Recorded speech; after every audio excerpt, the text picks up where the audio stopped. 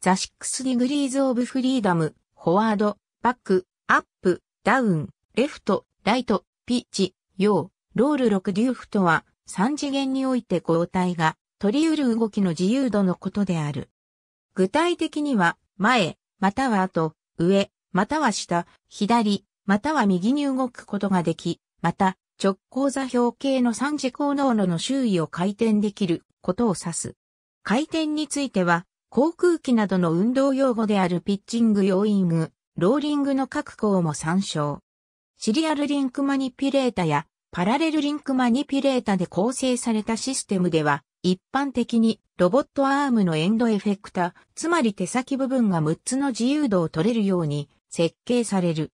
これにより、順運動学と逆運動学に従い、各軸の関節角とロボットのコンフィグレーションとの間に直接的な関係がもたらされる。ロボットアームの機能は、その関節自由度の数によって説明される。この数字はアームが持つ一軸回転関節の数を表し、数字が大きいほどそのアームが道具を柔軟に一決めできることを示す。この数字はシステムにおける相対としての位置取り能力を示す。自由度の抽象的定義とは対照的に実用性のある指標である。ヒューマノイドロボットは一般に全身で30以上の自由度を持ち、各腕は6自由度を、各、膝が5か6自由度を、胴体や首にも数自由度を持つ。機械工学やバイオメカニクスの分野では6デュフの考え方は重要で、そのシステムの特性を解析、測定するのに6つの自由度すべてを考慮する必要がある。6デュフの計測は今日、直流と交流の磁場や電磁帳を検知して位置と角度を計測し、プロセッシングユニットに送信するセンサー群によって達成される。得られたデータは必要性に応じユーザーによってプログラミングされたソフトウェアによって統合され関連付けられる。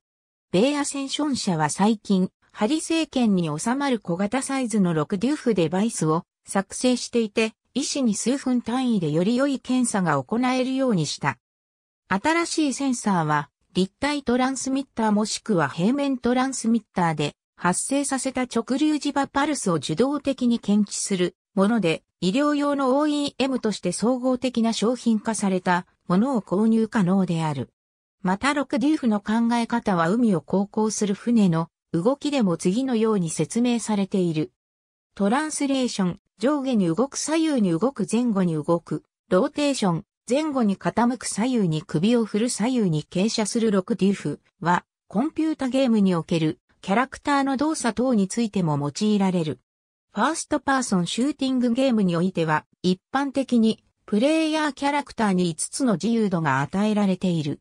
前進後退、左右へのスライド移動、上下動、ヨー、ピッチである。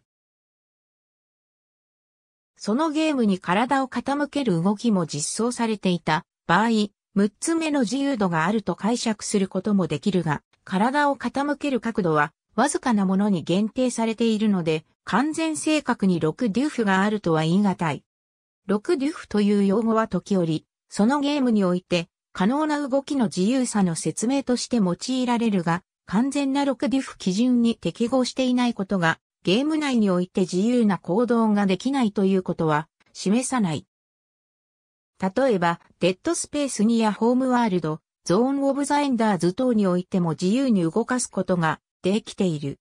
三次元移動と三次元回転がすべて可能な完全な6DoF 動作ができるゲームの一例としては、シャッタードホライゾン、ディセントシリーズの一部バージョン、レトロウイルス、マイナーウォーズ2081、スペースエンジニアズ、フォー聖剣などが存在する。またスペース MMO のベンデッタオンラインも6、自由度を与えられている。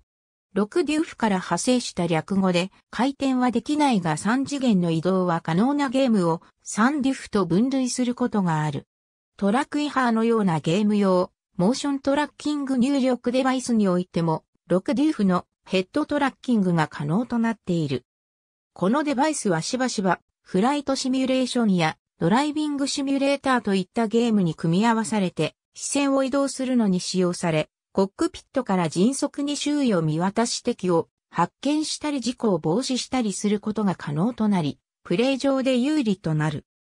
この視野の自由度を表す場合、古いゲーム等でサンデュフと説明されるものは、視線を上下左右の二軸に回転させ、望遠広角を変化させることの3つの自由が可能で、頭を上下左右に移動させたり左右に傾斜させることができないものを指す。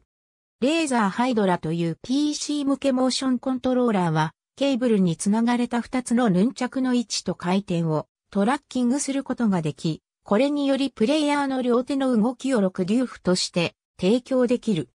スプソーブ360は1996年に発売されたコンピュータ用 6DIF 入力デバイスで最初の製造販売はスペーステック IMC 社によって行われた。ありがとうございます。